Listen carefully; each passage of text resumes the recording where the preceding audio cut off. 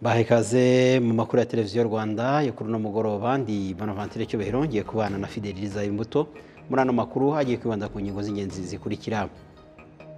Umuryango w'ubumwe bw'uburayi ku bufatanye n'ishami ry'umuryango w'abibumbye ryita ku mpunzi hcr hamwe na leta y'u rwanda batangije icyiciro cya kabiri cy'ubufatanye ku masezerano y'imyaka itatu yo kwakira impunzi zivuye muri libiya naho abanyarwanda n'abanyamahanga bakorera ingendo mu bihugu bigize umuryango wa afurika y'uburasirazuba eyase baravuga ko icyemezo abakuru b'ibihugu bafashe cyo guhuza imiyoboro y'itumanaho cyagabanyije ikiguzi cyo guhamagara. Mu yandi makuru turavuga ko minisiteri y'ubucuruzi n'inganda yatangaje ko inganda mirongo inani n'ebyiri ziganjemo iz'abikorera hirya no hino mu gihugu zafunze imiryango burundu kubera ikibazo cy'imicungire mibi.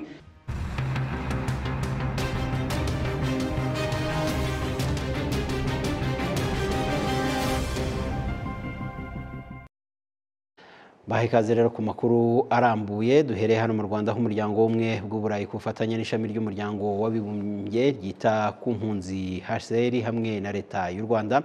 Batangije icyiciro cya kabiri cy'ubufatanye ku masezerano y'imyaka itatu yo kwakira impunzi ziva muri libiya zageza mu mwaka wa bibiri na makumyabiri na gatandatu. Anakuyemo kandi kongera inkunga igenerwa izi mpunzi. Inkuru irambuye turegezwaho na adamusi kwizera afatanyije na benjamin niyo kwizerwa Gebre Mariam Januari Gilmay ukomoka muri Ethiopia we n'umugabo we bari barahungiye mu gihugu cya Libya bashakisha inzira yabageza Uburayi ariko mu buryo bunyuranyije n'amategeko.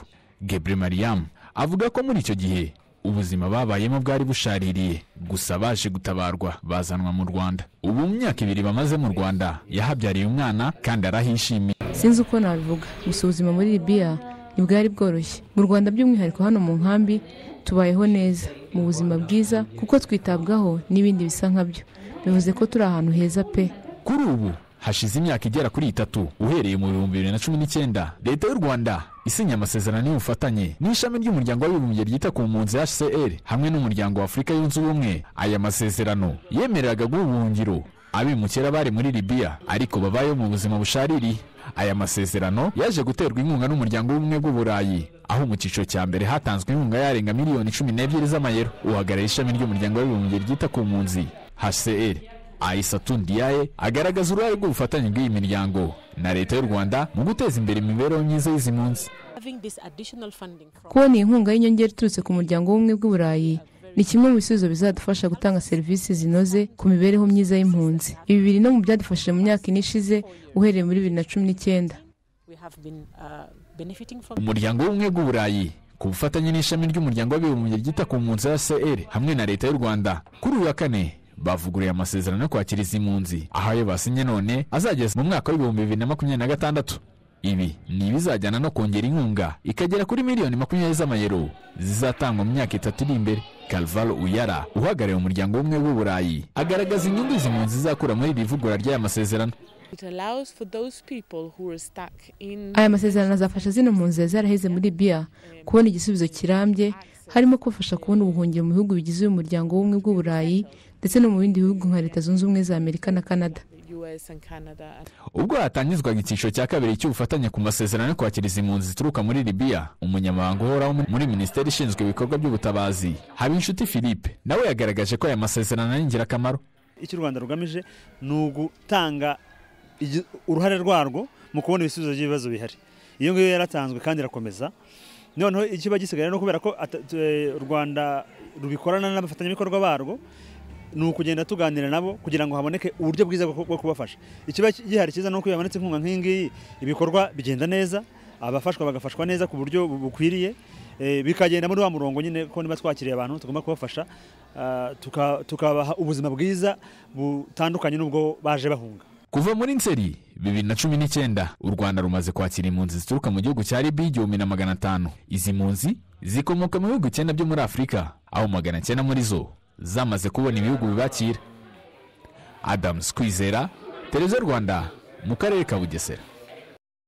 Barakoze cyane adamuzi rero kutugira mu bugesera dukomeza amakuru yacu aho abanyarwanda n'abanyamahanga bakorera ingendo mu bihugu bigize umuryango w'afurika y'uburasirazuba EAC bavuga ko icyemezo abakuru b'ibihugu bafashe cyo guhuza imiyoboro y'itumanaho cyagabanyirije cyagabanyije ikiguzi cyo guhamagarana no kwitaba. Gusa hari bimwe mu bihugu ah, bitari byakubahiriza aya masezerano bigatuma ikiguzi cyo guhamagara usanga kiri hejuru. Bosco Kwizera afatanyije na Eugene Ndayisaba barakomeza.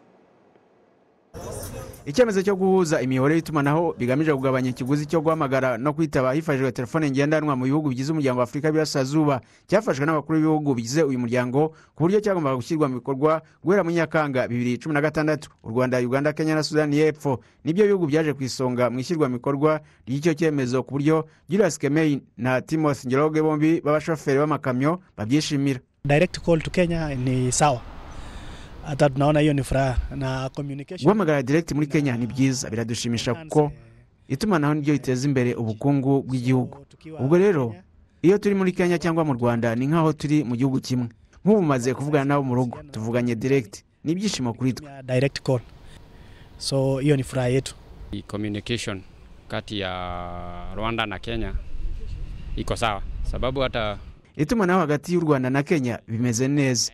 Kuko nk'ubu ubigerageje akanya bigenda neza. Ariko uhamagaye nka tanzania ntibikunda kuko iyo uhamagayeyo uri muri kenya bisaba ko uwo muntu aba afite muri telefone ye amafaranga. Napiga kama hana credit, hiyo simu haiwezi ingia. mu bihugu bitarashyira mu bikorwa ayo masezerano y'umuyoboro umwe w'itumanaho ni uburundi na tanzania ku buryo kuvugana hagati y'abariyo n'abari hanze y'ibyo bihugu ari imbogamizi bitewe n'uko ikiguzi kiri hejuru cyane. Guhamagara i burundi biracyari hasi. Iyo uvuye hano ukarenga umupaka byonyine biba birangiye abantu ntabwo bongera kukubona. Ariko bisaba yuko we afite airtime nanjye nkaba mfite airtime. Nibwo dushobora guhamagarana amayinite yanjye akagenda n'ayo akagenda. Ariko we ntayo afite. Ngewe nyafite namuhamagara ntibikunde urashobora kuba wahamagara biga nk'umunota ugasanga birahitanye nk'ibihumbi nka bibiri canke bitatu eh, by'amarundi. Numva nk'ikihokorwa bi- bishoboka nk'abategetsi bakabyumvikanaho aba bantu batandaza amakarita simu bakabahuza nk'imirongo biba ari byiza cyane kandi twa- ndumva twabyungukiramo Kwa mfano nikitaka kufanya mawasiliano na familia yangu nyumbani Dar es Salaam nk'ubu nifuje guhamagara mu rugo i Dar es Salaam. Nifuza kuvugisha umugore wanjye n'abana. Ngomba gushyiramo amafaranga ibihumbi bitanu by'amanyarwanda kugira ngo dushobore kuvugana neza. Ayo ni nk'ibihumbi icumi i Dar es Salaam. Icyo ni ikiguzi kiri hejuru cyane. Inakuwa ni gharama ya juu sana. ubwo yitabaga inteko rusange umutwe w'abadepite minisitiri w'ikoranabuhanga na inovasiyo paul ingabire yavuze ko icyifuzo cyo gushyiraho umuyoboro umwe w'itumanaho cyari kigamije korohereza abatuye ibi bihugu. Iyo umuturage yisanze atangiye kurominga kuri netiwaka yo hakurya ibiciro bikazamuka. Biba imbogamizi yo kuba yabona ya serivisi inoze ah, y'itumanaho. Ari na yo mpamvu habayeho iyo effort yo kuvuga ngo iriya one area network idufashe kugabanya ibiciro n'uwazajya afatisha n'ahandi cyangwa adakeneye no guhindura simukadi yo hirya n'ibiciro bibe byagabanutse ku buryo bitaba imbogamizi yo kutabona serivisi zinoze z'itumanaho. Ngira ngo ibihugu bibiri ni byo bitarashyira ayo mabwiriza mu- mu bikorwa bikitugoye harimo Tanzania n'u Burundi bivuga ko akenshi unasanga ari naho hari n'ibibazo byinshi cyane ku- ku- ku- kuko serivisi z'itumanaho zikomeza guhenda kuko bo ku ruhande rwabo ayo mabwiriza ntabwo barayashyira ah, mu bikorwa ariko duhuriye muri East African Community bakomeza kubyibutswa no kwerekana ko biri bimwe mu bifasha abaturage bacu kugira ngo babashe kugenderana kuvugana no ku no, no, gu- no guhahirana hagati yabo. Aya masezerano yo guhuza umuyoboro w'itumanaho hagati y'u rwanda kenya na uganda cyatumye ikiguzi cyo guhamagarana kimanuka cyane kuko cyavuye ku bice mirongo icyenda na bitatu by'amadolari kigera ku bice icumi by'amadolari ku buryo intego ari uko ikiguzi cyo guhamagarana hagati y'ibihugu kizagera ku gice kimwe cy'idolari kwizera bosco mu mujyi wa kigali. Urakoze cyane kwizera bosco. Naho minisiteri y'ubutegetsi bw'igihugu iravuga ko kuva mu mwaka w'ibihumbi maku- na cumi n'umunani imaze kwakira ibitekerezo by'abaturage ku igenamigambi ry'ibikorwa remezo ry'ibigomba gukorwa bigera ku bihumbi icumi magana cyenda mirongo itanu na birindwi Ah, ariko ngo hari ibitarashyizwe mu bikorwa ngo kubera ikibazo cya mikoro bari batarabona. Inkuru irambuye na mbabazi darasi afatanyije na nepo biraboneye. Bamwe mu baturage bavuga ko bimwe mu bibakorerwa cyane cyane ibikorwa remezo babona byabagezeho nta bitekerezo batanze mu gihe hakorwa igenamigambi. Nk'umuhanda ujya nyacyonga ntabwo ari mwiza. Ntabwo nyizi ntabwo bigeze babitubwiraho iby'igenamigambi. Aya? Ibyo ngibyo ntabwo byazindura ngo njye gutanga ikibazo. Rwose uwo mwanya agiye ntabwo nawubona. Umuntu wese azinduka agiye guhahira umwana. Hashize iminsi abagize komisiyo y'imibereho y'abaturage mu nteko ishinga amategeko umutwe wa sena bagirira uruzinduko mu turere tugize umujyi wa kigali. Ni uruzinduko rwari rugamije kureba uruhare rw'umuturage mu igenamigambi ry'ibimukorerwa. Nyuma y'uru ruzinduko kuri uyu wa kane minisitiri w'ubutegetsi bw'igihugu jean claude musabyimana yahuye n'iyi komisiyo kugira ngo imugezeho raporo y'ibyavuye muri uru ruzinduko. Bimwe mu byagaragajwe n'abasenateri birimo kuba abaturage badatanga ibitekerezo mu bibakorerwa. Ni ikibazo cyo gutanga ibitekerezo by'abaturage biriya byifuzo bakusanya kugira ngo bizazamuke bigere ku igenamigambi ry'akarere minisitiri w'ubutegetsi bw'igihugu jean claude musabyimana nyuma yo kugaragarizwa iyi raporo yavuze ko hari bimwe mu bitekerezo by'abaturage byakiriwe ariko ntibyashyirwa mu bikorwa kubera amikoro y'igihugu. Icyakora avuga ko hagomba kugira igikorwa. Ikibazo kivukamo ni uko urumva abaturage ibintu bifuza bacu hari igihe birenga ubushobozi buhari. Ariko by'umwihariko kugira ngo ikibazo kinagabanyuke ni uko tunoza feedback uburyo dutanga feedback.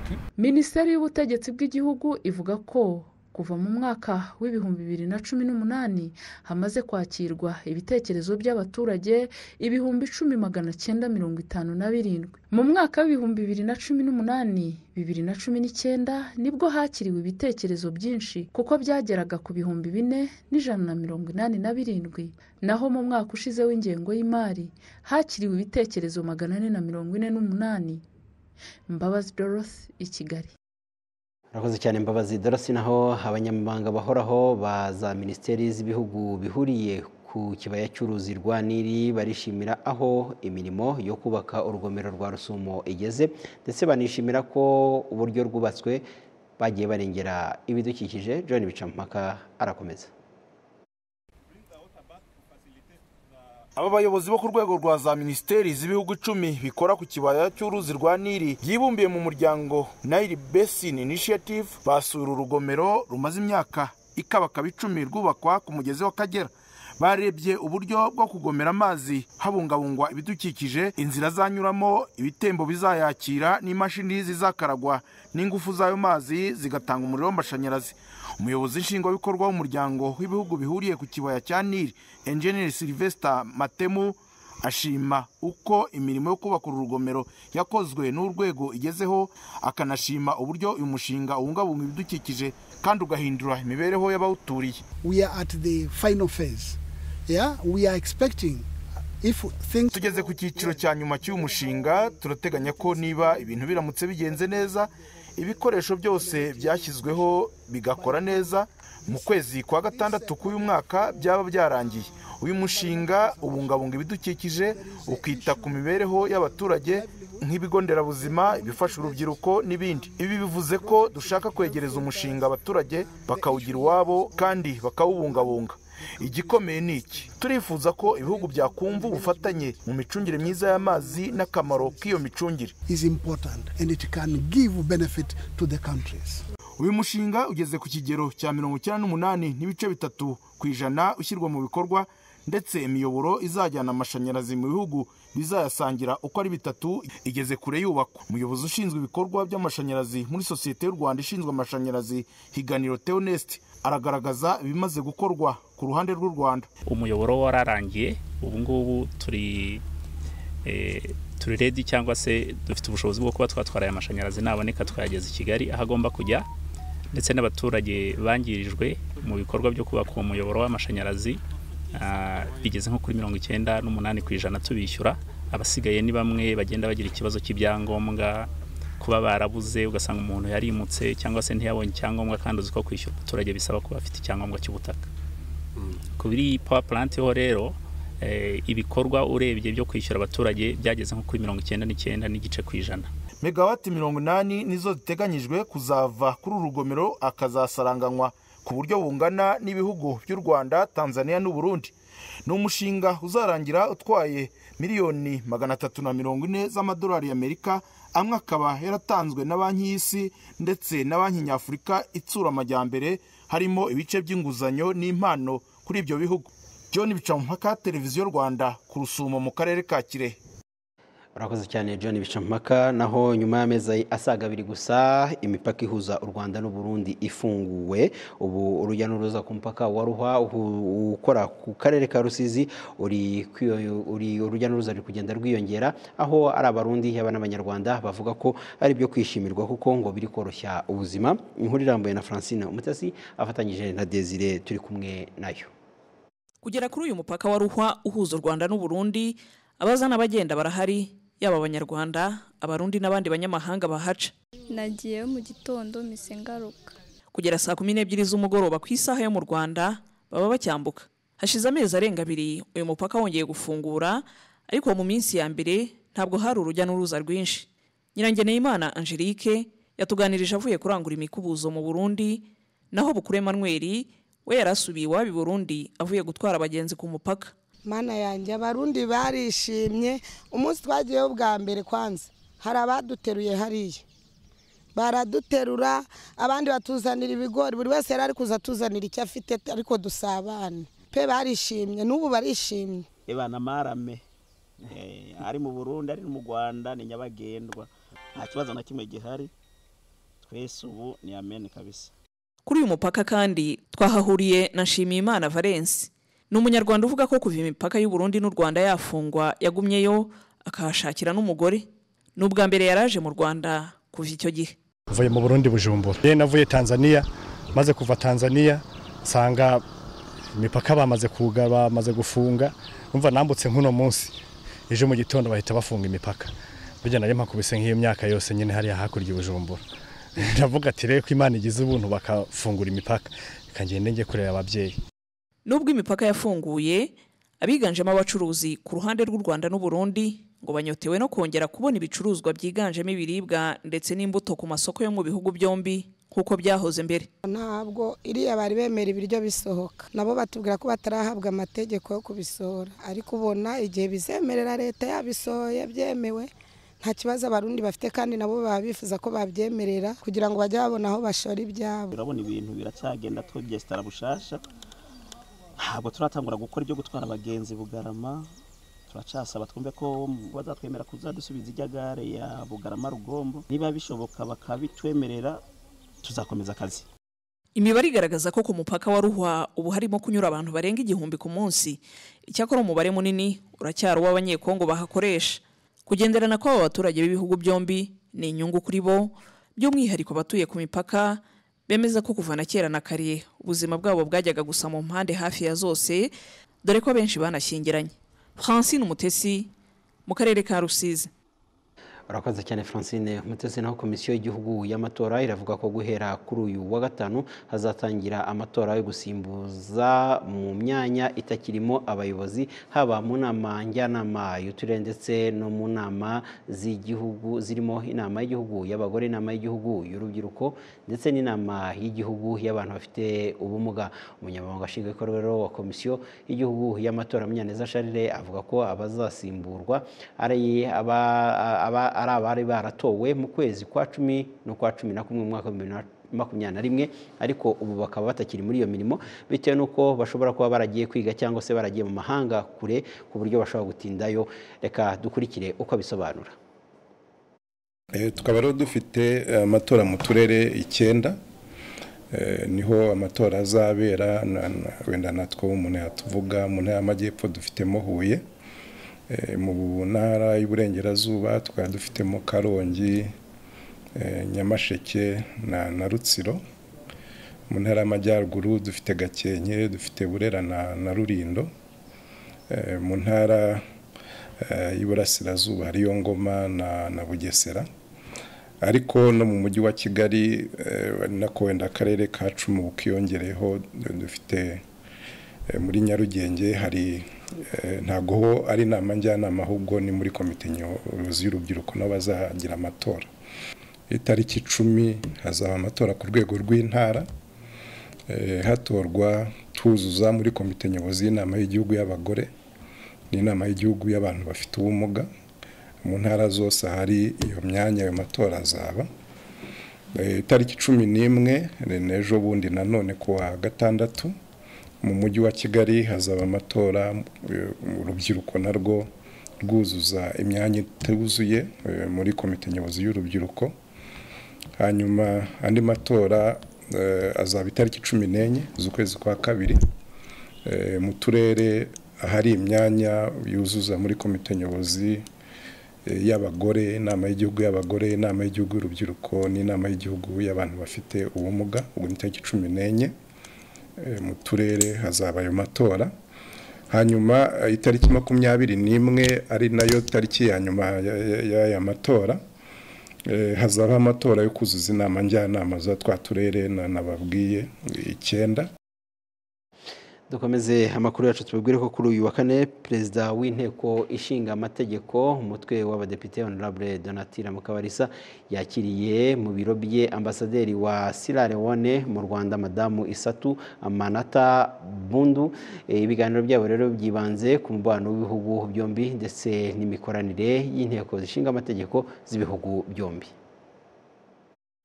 Discussions have been really um, ibiganiro byacu byibanze ku mubano w'ibihugu byombi by'umwihariko mu nteko zishinga amategeko mu bihugu byombi. Ndetse n'imikoranire y'ihuriro ry'inteko zishinga amategeko.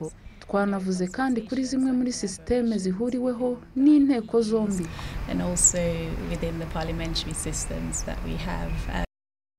Naho perezida w'inteko ishinga amategeko umutwe w'abadepite hano mu rwanda we yavuze ko hashingiwe ku mubano w'ibihugu byombi hagiye hakirwa amatsinda atandukanye aturutse muri sierra leone hari ibyo yabagaje gukora hano mu rwanda. Twagiye tugira umwanya mwiza wo kuganira uh, na sipika wa parliament ya sierra leone. Nk'igihe yari aje mu nama zitandukanye zagiye zibera hano iyi- y'aba speakers b'inteko zishinga amategeko zo mu bihugu bikoresha icyongereza uh, inama y'ijana uh, na mirongo ine na gatanu ya ipu yabereye hano mu rwanda umwaka ushize Eh, aho hose twagiye tugira umwanya mwiza wo kuganira kugira ngo turebe uburyo twakomeza guteza imbere eh, umubano w'ibihugu byacu byombi ariko binyuze muri eh, parliamentary diplomacy. Eh, ibyo byose ni byo twishimiye Eh, twanabamenyesheje ko twashyizeho itsinda ry'ubucuti hagati y'inteko ishinga amategeko y'u rwanda n'inteko ishinga amategeko ya sierra leone.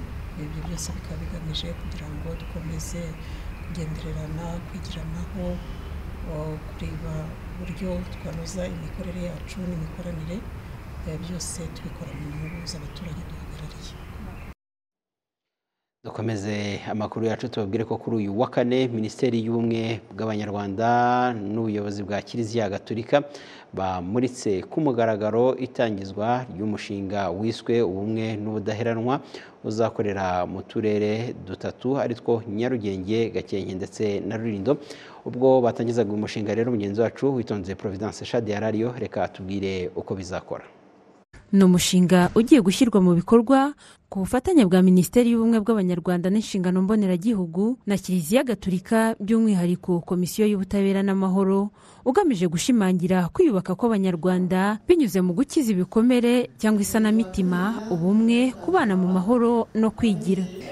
Kureba rero afite ibibazo bitandukanye byaba iby'ihungabana byaba iby'amakimbirane akomeye nk'uko nabivuze ingaruka bagenda bagira kubera ibibazo bitandukanye hanyuma tukanakorana n'imiryango isanzwe ifite uburyo ibanye neza.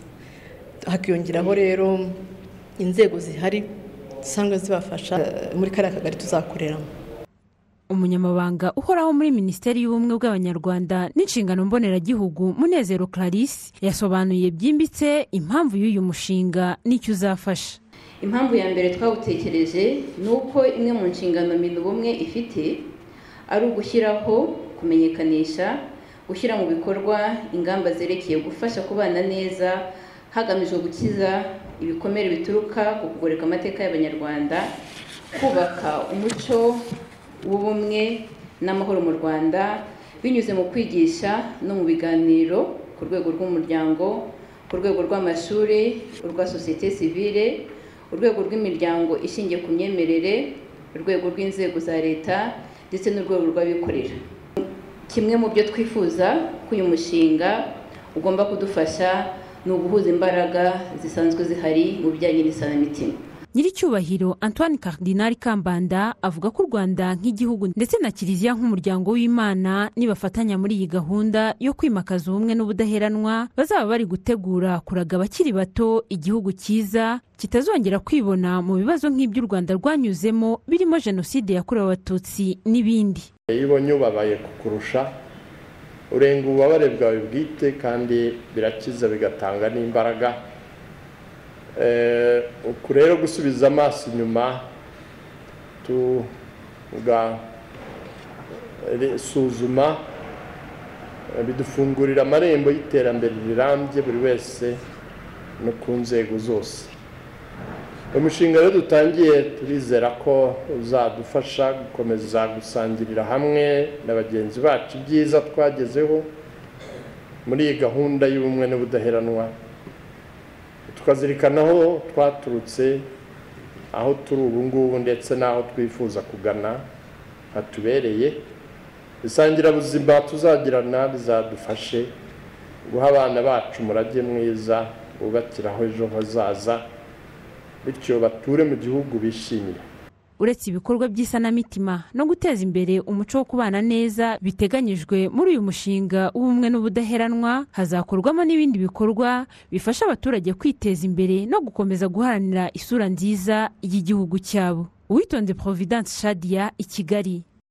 Twakomeje amakuru yacu rero tubabwire ko minisiteri y'ubucuruzi n'inganda yatangaje ko inganda zigera kuri mirongo inani n'ebyiri ziganjemo iz'abikorera hirya no hino mu gihugu zafunze burundu imiryango kubera ikibazo cy'imicungire mibi. Zimwe ariko hari impamvu zitandukanye zatumye zifunga zirimo kuba barakoze inyigo nabi.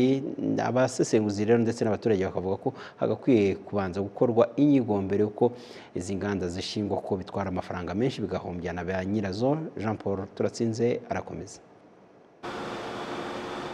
Ku ruganda rwa manibu ruherereye mu karere ka bugesera rutunganya toni mirongo itatu ku munsi z'amavuta y'ubuto. Kuri ubu ngubu ibikorwa birimo biragurwa aho bafite gahunda y'uko bazaba batunganya toni magana abiri z'ubuto akajya ku isoko ryo mu rwanda ndetse no ku isoko mpuzamahanga cyakora bafite imbogamizi yo kubona ibyo bakoresha mu gutunganya y'uko babikura mu bihugu by'amahanga ndetse n'ikibazo cy'idolari kikaba cyarazamutse bakaba bafite imbogamizi yo guhaza ubushobozi bw'isoko yaba iryo mu rwanda ndetse na mpuzamahanga biterwa n'isoko ukuntu rihagaze hari ubwo tuzigezaho hari n'ubwo bidakunda kubera ko materials ziba zitaratugeraho ariko kenshi tuzigeraho. Amavuta raw materials tuzikura muri malaysia na indonesia. So zikaba ziva muri ibyo bihugu bikagerera ku cyambu mombasa muri kenya. So ni ho dukura amavuta yacu tuyazana hano mu rwanda kuyatunganya avemo amavuta aribwa n'abaturage. Icyo twifuza ni ukuntu leta yashaka uburyo yashyiraho gahunda abaturage bakitabira bakajya cyane mu buhinzi. Ku buryo twabona byibuze ntabwo twabona ijana ku rindi ariko nubwo twabonaho makumyabiri ku ijana. Makumyabiri ku ijana ivuye hano mu gihugu cyacu hari ukuntu no kuri gdp hafite ukuntu byiyongera. Gusa hirya no hino mu gihugu hagaragara ikibazo cy'inganda zishingwa zikabura ibyo zitunganya zigafunga imiryango izikora ku kigero kiri hasi y'ubushobozi bwazo ndetse n'izifite imicungire mibi.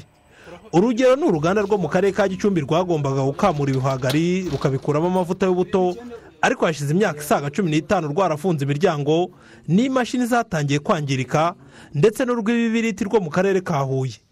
Abaturiye izi nganda n'abari bazitezeho umusaruro w'ibyo zitunganya bavuga ko iki ari ikibazo gikwiye guhagurukirwa kuko ziba zarashoyemo amafaranga yagakwiye gukora ibindi. Mu gihe gitoya gito bakamuye ibihwagari. Banadushishikariza kubihinga ariko habura ababihinga. Habuze ababihinga bazana ibyabo bike ni byo bakamuye. Niyo mavuta yabyo nabonye. Nyuma yaho ntibyakomeje kuko habuze abahinzi b'ibihwagari. Abahinzi b'ibihwagari iyo duhinga ibihwagari tuba twaragumye tukarya amavuta. None nta wabihinze n'uruganda rurangira aho ntitwamenye inzira zabyo. Nta nzira zabyo tuzi. Ese ubundi mwebwe urumuri ubona nk'uruganda leta koko yakagombye gushoramo amafaranga? Erega ugereranije na leta icyo gihe umuyobozi wese iyo yazanye akantu ka- k'umushinga akagashyira imbere y'abantu akavuga ati dore mbaremeye uruganda twe twabyumvise nk'uruganda. Kuko ni ikintu cyari kibyaye amavuta. Inyungu twari twiteze kuri ya ruganda ni uko twari tugiye guhinga ibihwagari. Kugira ngo rujye rudusera ibihwagari twunguke amavuta. Tubonye uruganda rupfuye ibihwagari turanabireka. Ntabwo twigeze tubihinga. Hashize amezi asaga abiri minisiteri y'ubucuruzi n'inganda ikora igenzura ryimbitse ku nganda harebwa izifite ibibazo mu mikorere imicungire ndetse n'izafunze imiryango. Umuyobozi mukuru ushinzwe inganda no kwihangira imirimo muri iyi minisiteri evaride murindankaka avuga ko basanze hari inganda zafunze burundu kubera impamvu zitandukanye. Aho usanga abantu bishyiraga hamwe eh, ariko umwe muri bo cyangwa babiri muri bo uh, ntibakoreshe umutungo neza w'uruganda ku buryo usanga uh, uruganda ruhombye bikagira n'aho uh, uganira na bamwe bati kanaka yatwaye umutungo uyu n'uyu kanaka yakoresheje nabi eh, ibyo twari dufite nk'imari y'uruganda bikarangira rufunze. Ibindi twaje kubona uh, ni ikibazo cy'uko hari inganda zitari zifite ubushobozi bwo guhangana n'ibikomoka mu zindi nganda zaba zituruka mu bihugu bidukikije. Icya gatatu twabonye kandi eh, ni imari yo gukoresha working capital. Hari inganda zimwe na zimwe ubona ko bahagaze eh, bagaragaza ko babuze igishoro cyo gukora bitewe n'uko no gutangira yenda batari bari biteguye neza. Rero nkurikije n'ibyo bibazo by'ingenzi twabonyemo uh, ubu hari gutekerezwa uh, kugenda tureba zimwe muri izo nganda ese ibyo bibazo twabonye ari byo kubura imari cyangwa se kugira access to finance? Uh, twabahuza n'ibihigo by'imari kugira ngo bongere bazahure ibikorwa byabo. Kugeza ubu mu rwanda habarurwa inganda zigera ku gihumbi n'ijana na cumi n'umunani zirimo izitunganya ibikomoka ku buhinzi ubwubatsi ubukorikori imiti n'ibindi bikoresho. Jean paul turatsinze i kigali. Twakomeje amakuru yacu twerekeze i rubavu. Rero hari abanyeshuri bo mu miryango ifite amikoro make bashima gahunda y'uburezi bw'imyaka cumi n'ibiri yatumye badacikiriza amashuri. Ubushobozi bw'imiryango yabo rero ngo ntibwabemereraga kuba bashobora kujya kwiga mu mashuri biga babayo. Ariko ayo mashuri y'imyaka y'uburezi bw'imyaka cumi n'ibiri yatumye babasha gukomeza amashuri yabo. Didasi nibizi arakomeza. Nari natsindiye kujya ku kigo cyitwa gishoma i rusizi. Ariko nyine kubera kubura ubushobozi sinajyayo. Uwiringiyimana jean pierre na iranzi eugene bari mu banyeshuri bo mu karere ka rubavu bari barabonye amanota meza abajyana kwiga mu bigo bicumbikira abanyeshuri ariko bitewe n'ubushobozi buke bw'imiryango yabo bananiwe kujya mu bigo boherejwemo. Niko gukomereza mu burezi bw'imyaka cumi n'ibiri. Mu mashuri aba bombi bigamo batsinze neza bayoboye abandi kandi bishimiye uburezi bahabwa. Bigendanye n'ubushobozi bwanjye. Kubera ko nyine numva kuba ari byiza ko bashyizeho ikigo kitwegereye natwe nyine bakatwitaho nk'abakene tukaba tubona uburyo natwe twiga. Nari natsindiye kujya kwiga mu kimbiri. Ariko bitewe n'ubukene bw'amafaranga ntabwo nabashije kujyayo. Naratsinze neza cyane. Nagize amanota mirongo inani n'atandatu n'ibice bibiri. Ubu burezi bw'imyaka cumi n'ibiri bwishimiwe kandi n'ababyeyi bagaragaza ko iyo butahaba byari kuba ingorabahizi rwose bwo byaradufashije nk'abantu badafite ubushobozi. Icyo twishimira twishimira leta y'u rwanda yatugiriye neza rwose. Umubyeyi wacu paul kagame mumudushimire kuko yarebereye abaturage arebereye abakene n'abadafite ubushobozi. Amashuri y'uburezi bw'imyaka cumi n'ibiri akwiriye kugirirwa icyizere kuko leta yashyizemo imbaraga hagamijwe kuzamura ireme ry'uburezi atanga. Havugimana etienne umuyobozi w'akarere wungirije ushinzwe iterambere ry'ubukungu muri rutsiro asanga ntawe ukwiriye gukerensa ubu burezi kuko bwafashije benshi. Ibi bigo bita ngo ni ibya tuwerive cyangwa by'imyaka cumi n'ibiri biri mu bigo bisigaye bitsindisha cyane. Kuba rero umwana yaroherejwe hirya no hino umubyeyi we agahitamo kumujyana muri iki kigo kimwegereye yaba ari impamvu y'ubushobozi cyangwa yaba ari amahitamo yagize twe turabyishimira. Tukabanza guhumuriza rero abaturage tukabizeza yuko aya mashuri nk'uko leta yabishyize muri gahunda afite ingufu uyu munsi kandi ari gukora neza. Muri uyu mwaka w'amashuri bibiri na makumyabiri bibiri na makumyabiri na rimwe mu banyeshuri ibihumbi magana arindwi mirongo inani na bibiri n'abanyeshuri magana inani na mirongo ine na batandatu bari mu mashuri yisumbuye abiga bataha barenga ibihumbi magana atanu na mirongo inani n'icyenda bingana na mirongo irindwi na gatandatu n'ibice bine ku ijana. Muri bibiri n'umunani mbere y'uko gahunda y'uburezi bw'imyaka cumi n'ibiri itangira abigaga mu mashuri yisumbuye bari ibihumbi magana abiri mirongo inani n'umunani n'abanyeshuri mirongo itatu na batandatu none ubu bikubye hafi inshuro eshatu. Didasi niyibizi mu ntara y'uburengerazuba.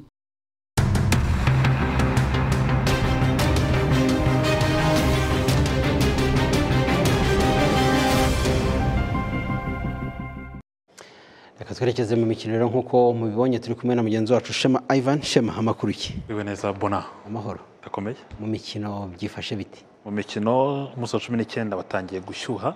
Dutegereje umukino ukomeye umukino ugomba gusa ikipe ya perusa ndetse n'ikipe ya rayon siporo ku cyumweru tariki cumi n'ebyiri z'ukwezi kwa cumi n'abiri ariko kuri wa gatanu shampiyona irakomeza hakirwa umunsi wa cumi n'icyenda ni bwo turi butangire kuri wa gatanu kugera ku cyumweru tukamenya ikipe ikomeza kugenda niba ya perusa ikomeza kugenda izamuka ku rutonde rwa shampiyona kugeza ku munsi wa cumi n'icyenda nyemera duhere kuri uwa gatanu. Kuri uwa gatanu shampiyona y'icyiciro cya mbere umupira w'amaguru primus nation league irakomeza hakinwa umunsi wa cumi n'icyenda muri shampiyona bibiri na makumyabiri na kabiri bibiri na makumyabiri na gatatu.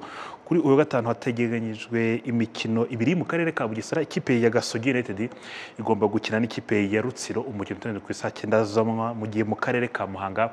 Ikipe ya kiyovu siporo igomba gukina n'ikipe ya rwamagana city. Umukino ukaba ugomba kuba ku isaa cyenda z'amanywa. Imikino yombi kuri wa gatanu ikaba igomba gutangira kuri eh, saa cyenda z'amanywa. Hakinwa umunsi wa cumi n'icyenda shampiyona ah, muri shampiyona umwaka wa bibiri na makumyabiri na kabiri na makumyabiri na gatatu. Kuri iki cyumweru nk'uko natangiye bivuga hateganyijwe umukino ukomeye. Ni umukino ugomba guhuza ikipe ya Rayon Sport ndetse n'ikipe ya APR FC kuri ubu rero ikigezweho ni uko umusifuzi witwa Ruzinda Nasoro uyu musifuzi ni we wamaze guhabwa inshingano zo kuyobora uyu mukino uyu mukino uteganyijwe kuri iki cyumweru ku munsi wa cumi n'icyenda wa shampiyona. Umukino rero uzaba ubaye umukino mirongo icyenda n'umunani ugiye guhuza amakipe ah, akomeye hano iwacu mu rwanda. Aho mu mikino mirongo icyenda n'irindwi gusa imaze guhuza amakipe yombi ikipe APRFC yatsinzemo imikino mirongo ah, ine n'irindwi Rayon Sport itsinamo imikino makumyabiri n'icyenda mu gihe banganyije imikino makumyabiri n'itanu. Ku cyumweru rero ni bwo tuza kubona umukino mirongo icyenda n'umunani wagomba guhuza ikipe ya Rayon Sport ndetse n'ikipe ya APRFC muri shampiyona y'umwaka wa bibiri na makumyabiri na kabiri bibiri na makumyabiri na gatatu. Reka tuve mu mupira w'amaguru hano iwacu mu rwanda tujye mu mukino wo gusiganwa ku magare. Kuri uyu munsi shampiyona nyafurika mu mukino wo gusiganwa ku magare ikomeje kubera mu gihugu cya ghana yakomezaga bakina individual time trial mu bagabo. Ah, umugande witwa kaguma charles ni we waje ku mwanya wa mbere ahabwa umudari wa zahabu mu gihe umunyarwanda mugisha moyize ni we waje ku mwanya wa kabiri mu bagabo. Kuri uyu munsi mu cyo bita individual time trial aho yahawe umudari w'umuringa mu gihe mu bagore ndacyayisenga valentine nawe yaje ku mwanya wa kabiri mu bagore naho nawe yaje guhabwa umudari muri iyi mikino y'igikombe. Muri iyi mikino nyafurika mu mukino w'amagare ikomeje kubera mu gihugu cya ghana. Ni imikino yari iteganyijwe ko igomba gusohoka ku itariki cumi n'eshatu z'ukwezi kwa kabiri muri aya marushanwa nyafurika umukino wo gusiganwa ku magare ikomeje kubera mu gihugu cya ghana. Mbashimire cyane mwese twabanye nshimire na fideliza imbuto twabanye muri ano makuru n'ikipe yose yadufashe kugira ngo aya makuru agende neza. Nari bonaventure cyubahiro bifuriza kugira ibihe byiza. Baye